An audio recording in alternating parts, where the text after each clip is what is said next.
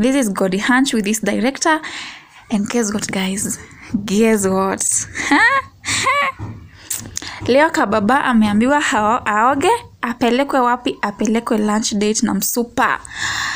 Msupa ni nani? Msupa ni Arian Dashian.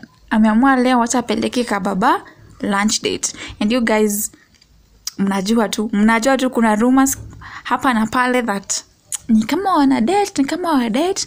Though kwa video ya Fail mliona walisema wao wa date na wako already kurudiana, but guys, hizi video wanafanya hizi zinatuambia mengi. So here they are mpaka wameitisha food plate moja wanakula kwa plate moja and guys eh, kitaturamba sisi watu wa ubeha watu wa udaku kitaturamba yeah so here they are taking their lunch arian ameamua kupeleka kababa out lunch date out.